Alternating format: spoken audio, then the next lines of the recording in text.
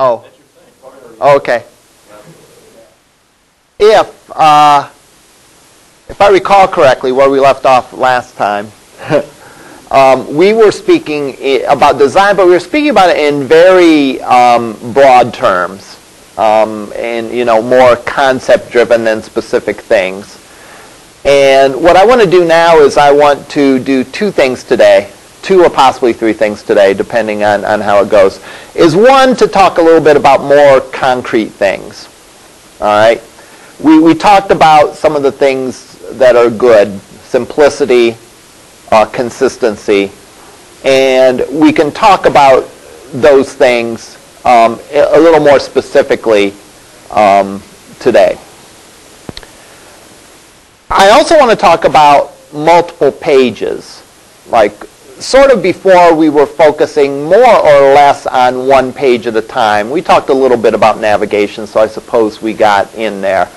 Um, but um, I like to expand our scope to talk a little bit more about multiple pages.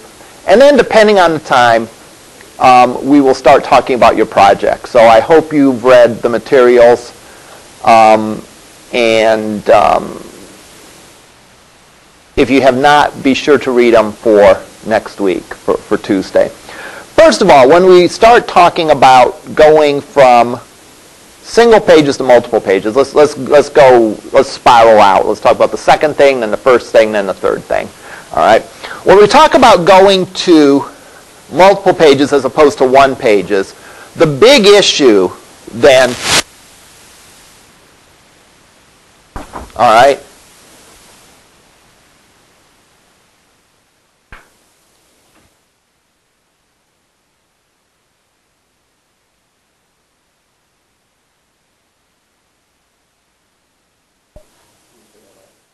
consistency. And sort of the, uh, a guiding principle for consistency, and maybe just another way to define it, uh, that similar things look similar.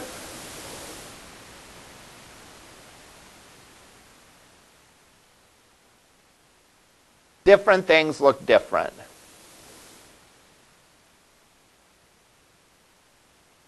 Yeah, yeah. Well, it is. Uh, again, it's one of those things, though, that you know um, you sort of step back and, and have to think about it because otherwise you see a lot of sites that don't necessarily follow this, and, and you can run into problems. So, in other words, your links on the main navigation bar, they look the same. They ought to look the same. If you have a sub-navigation, those links ought to look the same as other sub-navigations, but different than the main navigation. And let's pull up our website, LCC.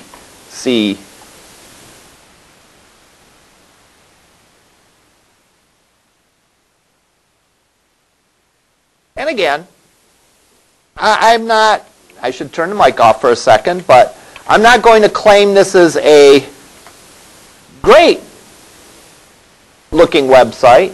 Pardon me? I don't know. I might have been. I'm not going to claim that this is a, a great website, but there's certain things that we can, we can learn from, from it. For example, here, main navigation, if you notice, it's in the same spot every page. It sort of anchors you down. This is a sub-navigation. And then there's further divided underneath that. No matter what section we go to, it follows that format. Sort of the home page for each of these different sections. Each of these sections kind of have a home page, and it follows sort of the same format with um, the sub-navigations and so on. So you wouldn't want these links looking like these. The fact that they look different differentiates them and therefore leads to understanding. Consistently also comes in play in so far as like where the logo is, that the search bar is always up here, that it, the logo, if you click, it is a link back to the home page and so on. Now one thing that, that you should remember is that consistency also to a degree, relates to other sites on the web. All right? Jakob Nielsen, a very famous uh, person that talks about web design, said something to the effect of there's Nielsen's law where your users spend more time on other websites than your website. All right? So therefore, it's good to follow sort of the conventions of the web. So, conventions for the web typically are things like that. The logo is a link back to the home page. Search box almost inevitably is in this section of the, pa- uh, of the page. Were you shaking your head no, or are you agreeing? Okay. Right, and you hate when it's not. Exactly. Why is that? Because you've learned you know, web design within a site and within all the sites teaches you, maybe teaches is a wrong word, sets expectations in your head of where you're going to find things. And when you don't find things there, it, it angers you. All right? So, yeah. So you would expect the search to be there things that are less important but probably should exist on every page are typically on a footer in the bottom. All right? And so on. So within a website you want consistency, but you also want consistency between your site and all the other sites in the web. Now, one thing to remember, consistency doesn't mean identical. All right? If I say your pages should have a consistent layout, that doesn't mean that every page has the exact same absolute layout. For example, the home page on this site looks different than sort of the home page for a section of the site. And that looks different than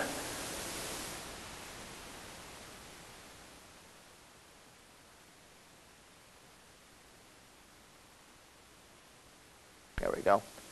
That looks different than this page.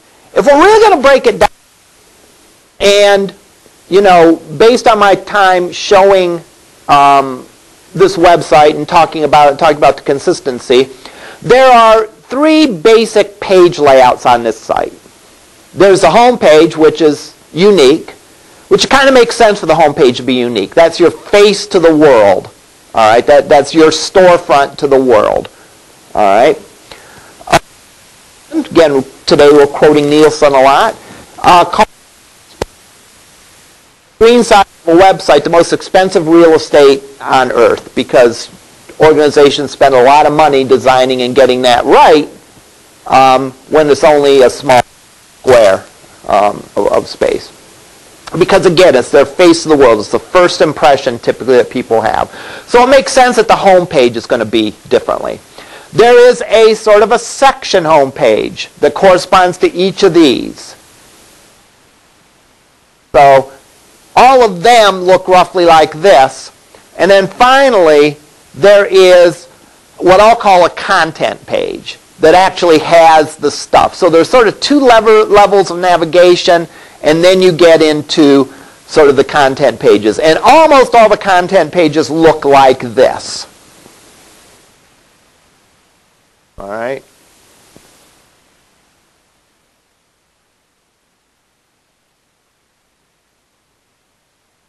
So, if I say that there's a consistent layout, it's still consistent even though the three pages don't look exactly the same. What's consistent about it? The color scheme is consistent. The top level navigation is consistent. The footer is consistent and the type is consistent. All right? So when I say things should be consistent from page to page to page, it doesn't mean that they need to be identical. All right? Um, when you do your project, we'll talk about this in terms of what we call wireframes. And wireframes are just little sketches, like you might draw on a napkin, um, you know, when you're having a meeting with someone that, that says where the, how the main pages are laid out. All right? For small websites, you may have just one wireframe. There may be just one layout. This is a big site with a lot of pages, and I would guess that if we looked at and analyzed all of these, that there'd be a total of like three wireframes. Three basic designs. Home page, section, home, and then content page.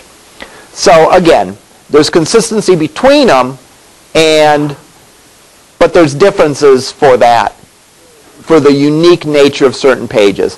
One thing that you'll see a lot times is on, on sites, there might be, for example, like a photo gallery page that has a different layout than the rest of the stuff. It might have a different sort of navigation with thumbnails and all that, simply because that page is sort of different than the rest of the, the content pages on the site. Okay, so consistency, similar things look similar, different things look different. Uh, the other thing that we talked about last time is the notion of branding, which I don't really like that word. I, I, I, don't, I don't like, you know, you even hear people say, you know, you you have to have your own personal brand. It's like, I don't know what my personal brand is, you know. The, the Zellerverse, right. Uh, but, uh, yeah, I, I, but, but you get the idea. It's a word that everyone knows or most people know, so we might as well use it. Branding, you give an image, and we talked about last time a lot about Apple doing that with the choices that you make. Now, um, one of the things in design is that things are a trade-off, and we talked about balancing between simplicity and complexity. The ultimate simplicity would be like just to have a few lines, few words on each page, but that would make it very difficult to navigate. If you had everything on your website on one page, which some of the bad examples that we saw apparently was trying to do that, all right, then you have a mess as well. So balancing between simplicity and complexity, that comes into how much content you have on the page, that comes into um, how much space you have between things, all right? And we notice, for example, even those choices were made with the brand and the brand image in mind. For example, Apple, a company that has a relatively small number of products, could afford to be more simple and more spacious uh, on the site. Whereas a company like Dell that has more products sort of has to have a denser design. And both of those sort of reflect the attitude that you get from the company. Apple, the one of elegance and simplicity. Dell, in that you have a lot of choices. So let's talk about what are some practical things that we can do via CSS to do this and to accomplish this. Whoops. You're on camera for a minute. I hope everyone was was looking alert and smiling. Oh. Uh-oh.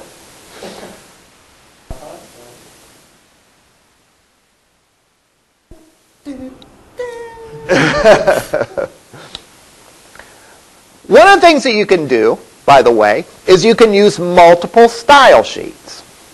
All right? Remember, again, the whole notion of cascading style sheets is that there can be a bunch of style sheet rules, and they sort of trickle down from top to bottom. We notice that where you can put something in the tag for like the body, and then there can be a different style sheet for um, or then there could be a different color for the header, or a different color for the nav, and so on down the line. And the more specific overrides it. If you have multiple style sheets that apply, the first one applies. If there's anything in the second that overrules it, that will take into effect. Well, how could you use that notion? Again, this site, and again, I don't know exactly how they did that, could have a single style sheet for every page because certain parts of this, the position of this, the color of the header, the color of the footer, and all that are the same.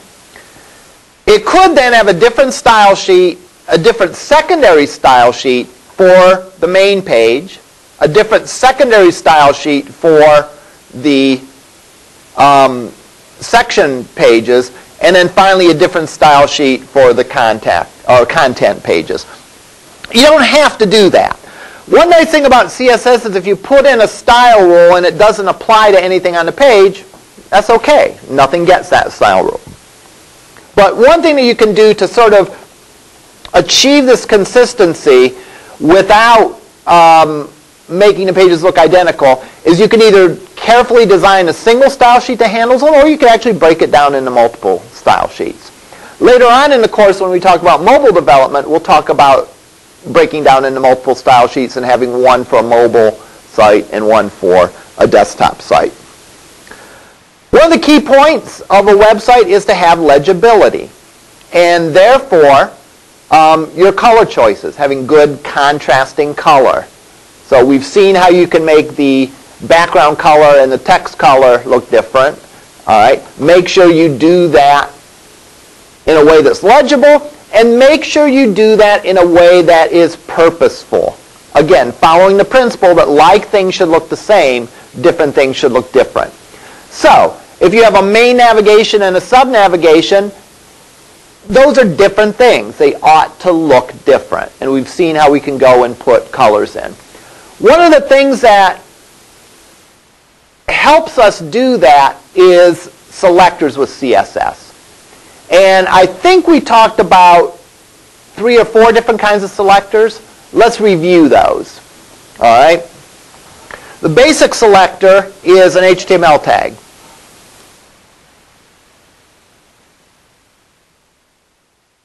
Where we can put in H1 and whatever's within brackets, those are the style rules that apply. That's the basic sort of selector, the first selector that we started with.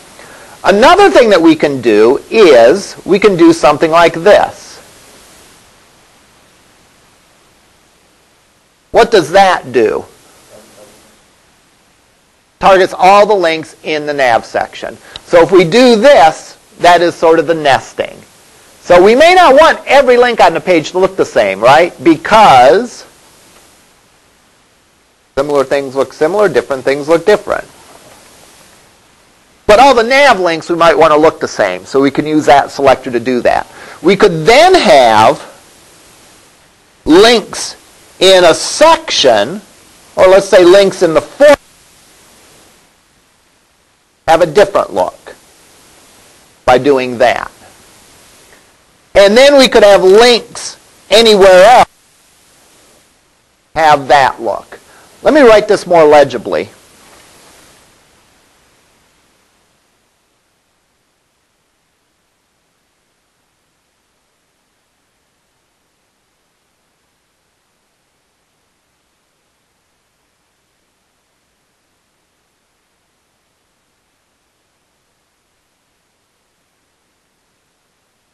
All right. We can cascade this. For example, if we wanted all our links on our page to be red, all of them, where would we put the attribute for red? In A. So I could say A color red.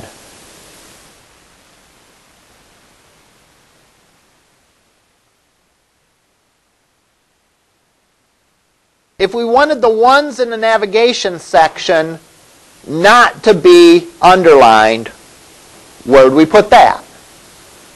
In the first selector.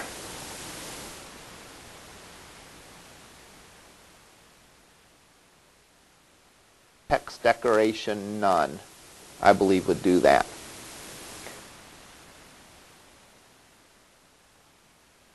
What if we wanted the links in the footer we changed our mind and didn't want all of them to be red. What if we want the links in the footer to be green? Links should always be green.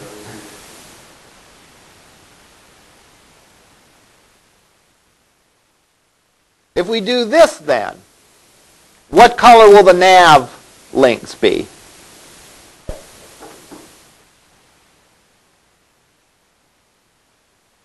They'll be red right? Because the footer applies to links in the footer. The nav, we've not specified an attribute for the, the links in the nav. Therefore, the attributes on the link tag sort of cascades down. All right?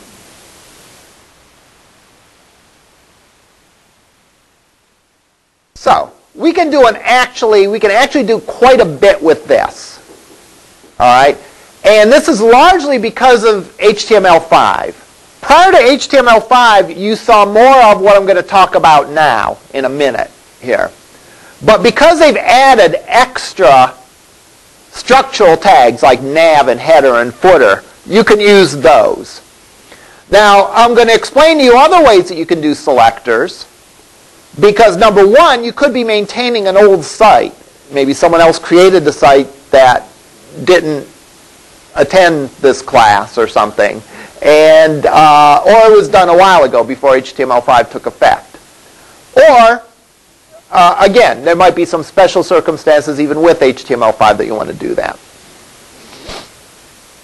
And that is the notion of a class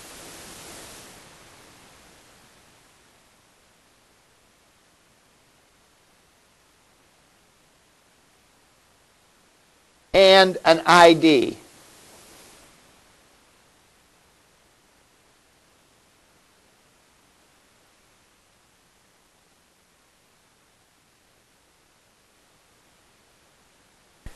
Difference between a class and an ID.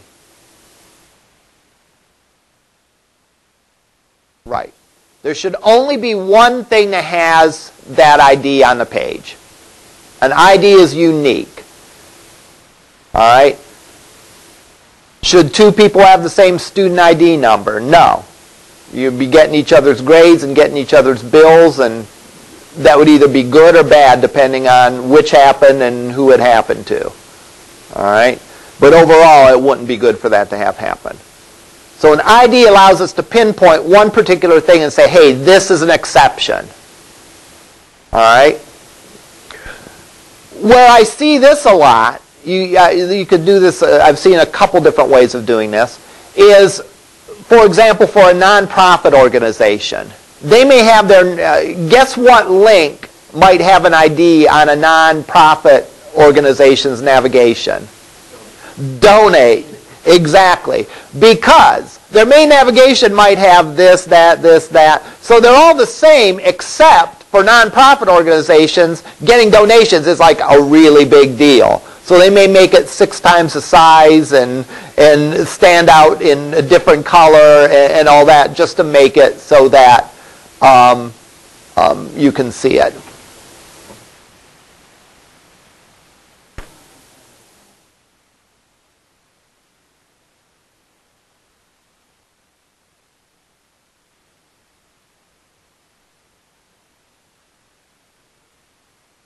Okay, this I thought this was an example, but it, it really isn't. This is a site actually students in this class a few sections, few uh, years ago did. They kind of did it, but they didn't do it with CSS. There's a donate button here, and they didn't make this one a different color.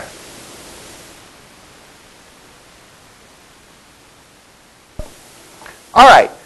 So how do you do a style rule then for an ID? Well, you define it with a pound sign in front of it in the CSS, and then you can go in and say A ID equals, and then give the name of the ID.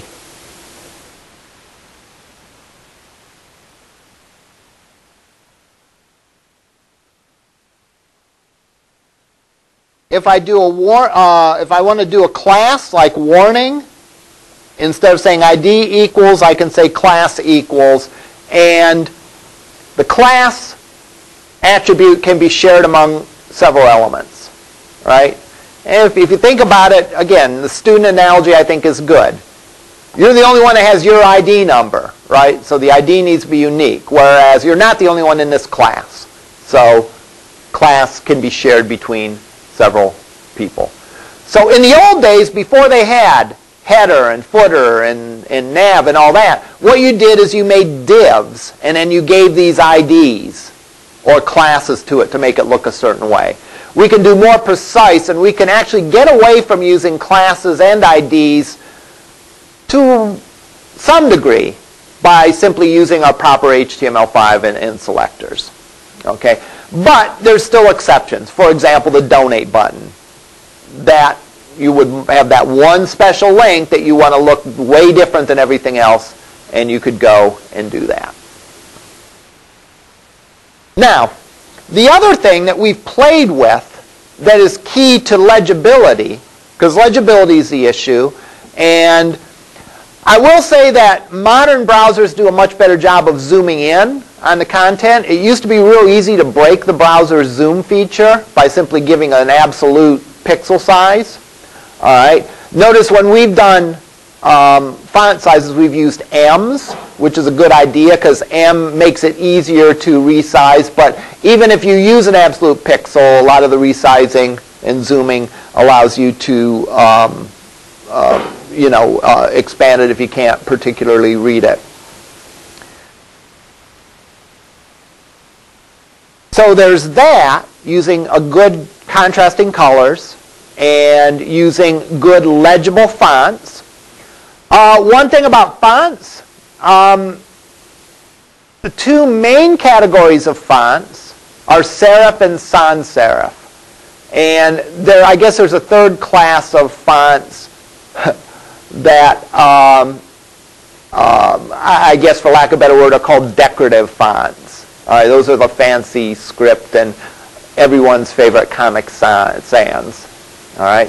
If you want to have fun, I won't do it because it has a bad word on the title, and I don't want the FCC coming after me, especially now that I'm getting a Kickstart endorsement. But Google Comic Sans McSweeney if you want to read an article. McSweeney is kind of a humor magazine, or uh, actually it's a, more of a, a, writing magazine, but it does have a lot of humor in it. But um, the font Comic Sans wrote an angry letter to McSweeney's about how it hates being picked on. So it's kind of entertaining. All right. And of course, there's one font that had a movie made out of it. Does anyone know of a font that had a movie made out of it? I'm, I'm the new romans. The Times of the New Romans? Uh, good answer. No, that, that's not correct. Well, it may be correct. I haven't seen that one.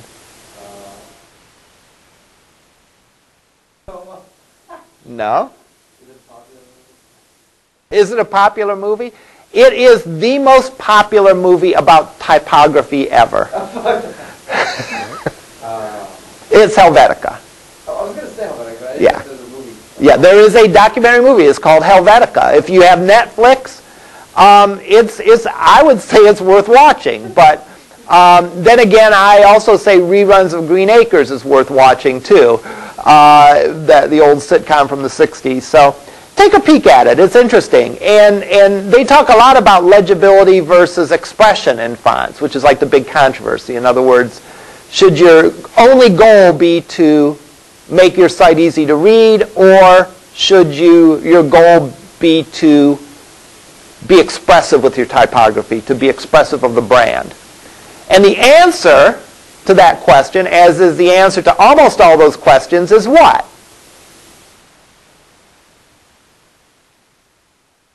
It depends. It depends on a particular site. Or, again, I'm, I'm speaking in terms of website. This, the movie's Helvetica actually talks about other graphic designs like album covers and things like that, business cards. You know, if you're doing a business card, yeah, you probably want it plain and simple and easy to read. If you're doing a concert poster or a album cover uh, or um, a book cover or something like that, you might go for um, a, a more elaborate, a more expressive approach. Again, the things we talk about in design are guidelines more than rules.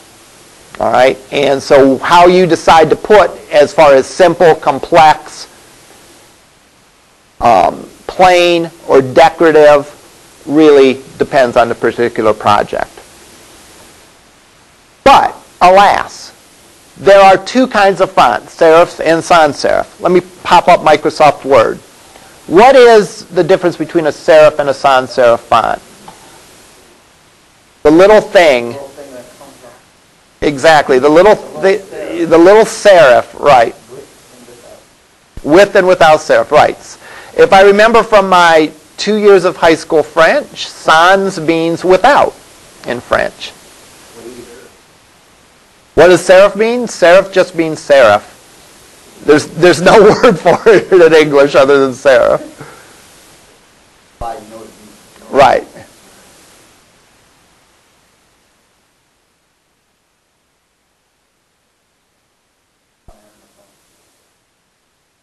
All right, so let's go here and You can tell at a glance. All right. Is that a serif or a sans serif font? Serif. How do we know it is serif?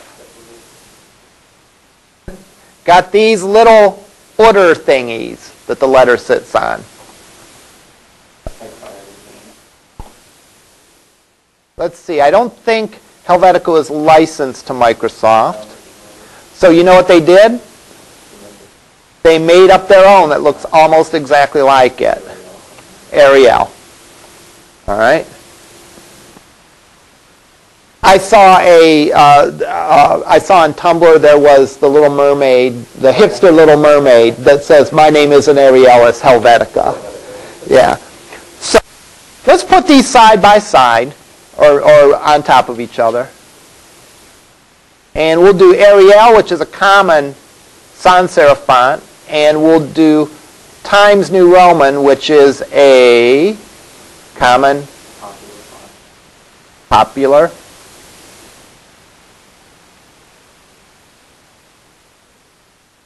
All right. Those both look good. Can you make some observations about them?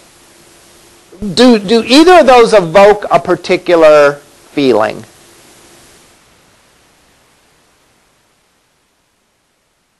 All right. Sans serif typically has a more contemporary feel to it.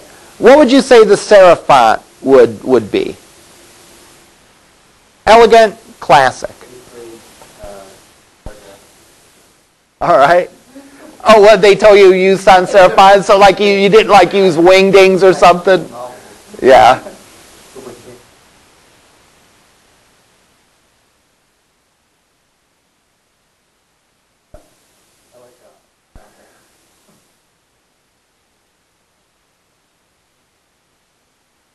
Yeah.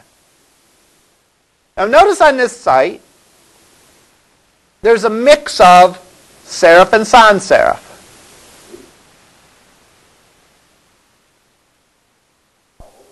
They probably only use two fonts total here, I would guess. Can you look at, can you come to some observation about when they use serif and when they use sans serif, just by looking at this?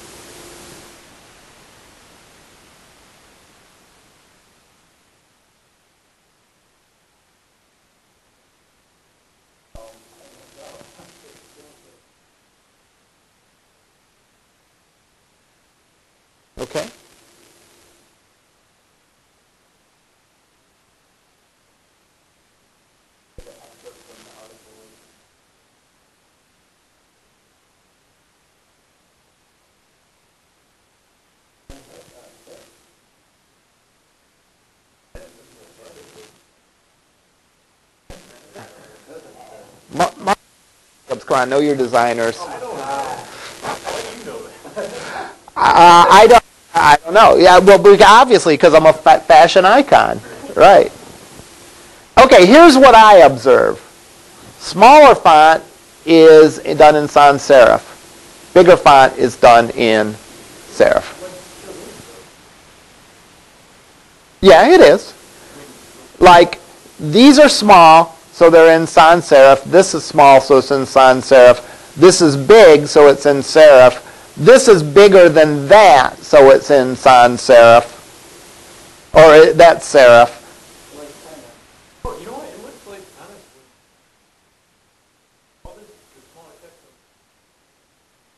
Smaller text, where?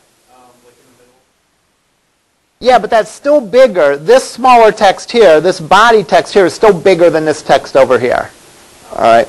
As a general observation, and we're going to go to the Wall Street Journal after this, but as a general observation, sans serif text is more readable for smaller font, and serif text is more readable for larger font. All right? The serifs actually help people to see the words and read the words better, but they don't scale as well.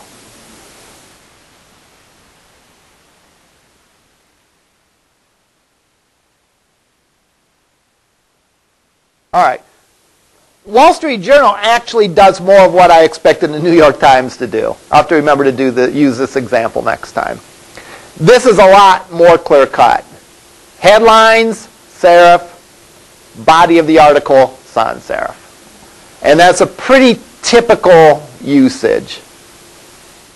Again, it's like colors though on a website. You don't necessarily want to mix 10 of them, but you have a couple of them just for a little bit of visual variety and for the fact that sans serif has one look, serif has another, little visual, and, and sans serif scales better than serif. Now if we go to Apple's site, I am sure that it's all sans serif. Why? Again, that's where we're getting into sort of the, I don't want to say mood, but sort of the feel of it. This, this has a very clean, contemporary, modern feel to it, and therefore sans serif is, is used. All right? So, what, you, what can you do for legibility? Again, make sure you pick good color combinations. Make sure you pick between a couple different fonts. All right? Can you do a page all in one font? Sure. Can you mix two fonts? Sure. Beyond that, though, there better be a good reason for it if you start getting into three, four, five different fonts. Otherwise, it's just confusing to the user. All right? Okay. And again, we can do that in selecting this with um, you know, with any of the selectors that we talked about. So ID, class, or HTML. The other category of font are sort of called the decorative fonts. It's sort of like none of the above, like Bauhaus. So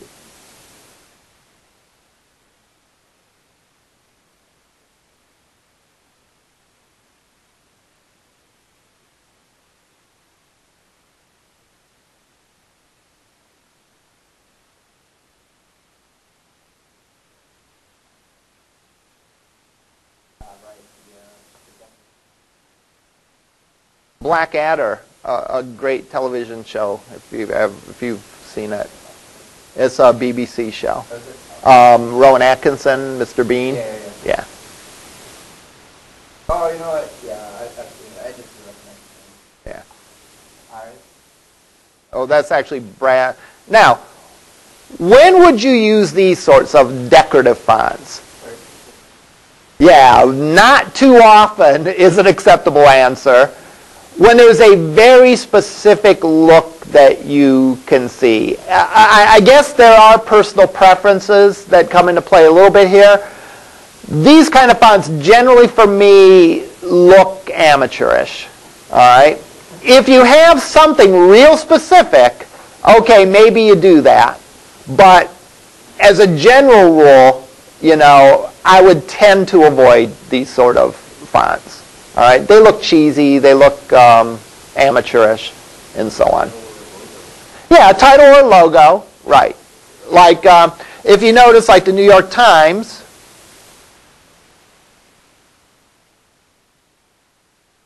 Yeah, I mean that is.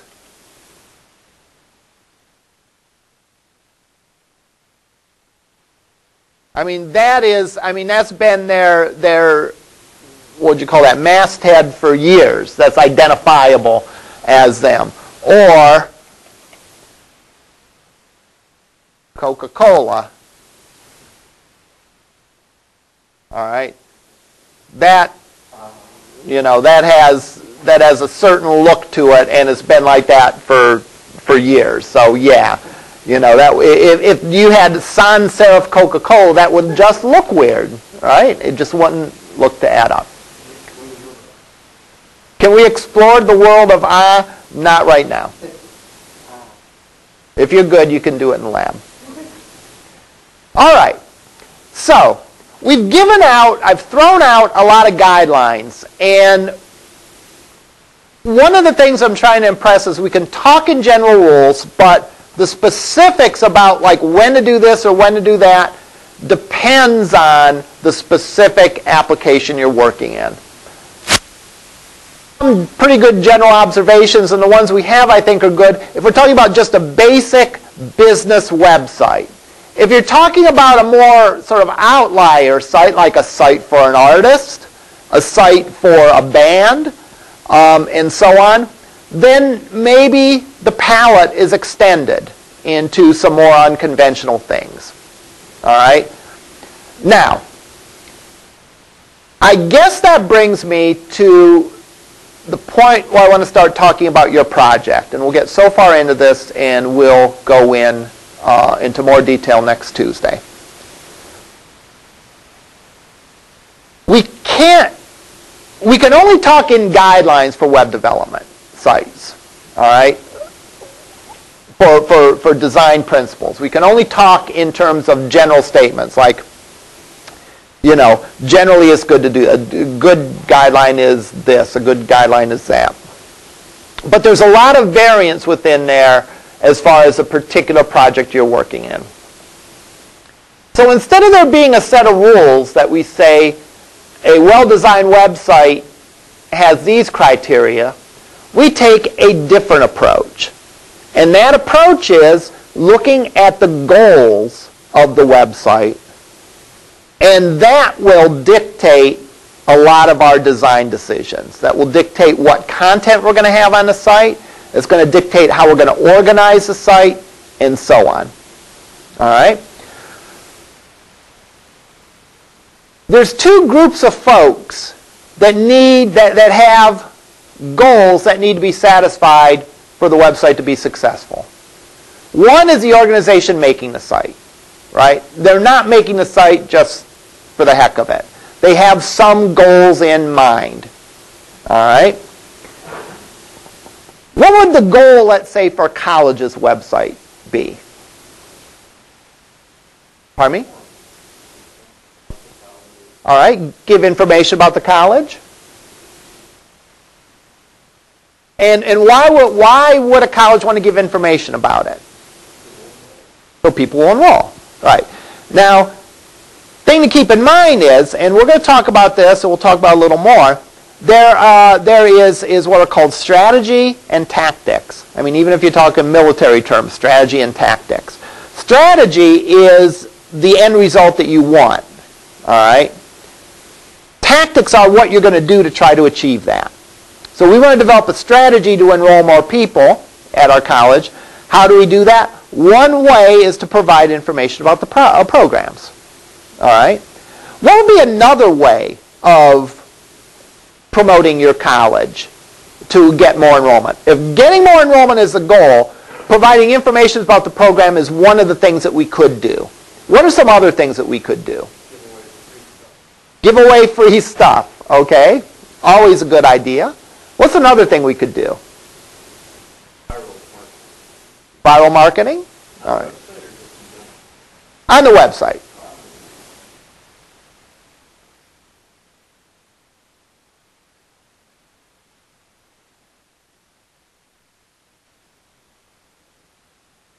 Have a game, maybe. Pictures. Show how nice the campus is. Show how good the facilities are.